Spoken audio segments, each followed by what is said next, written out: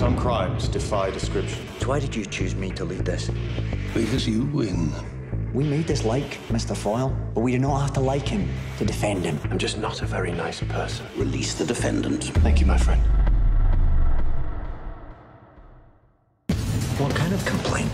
Unprofessional conduct. This is insane. We won. Who are you waving at? That man? What man? Looks like he wanted to cause you maximum discomfort. The more time we spend together, the more you remind me of me.